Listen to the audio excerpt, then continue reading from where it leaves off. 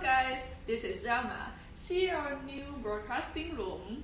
In the future, I'll post more and more videos. See you!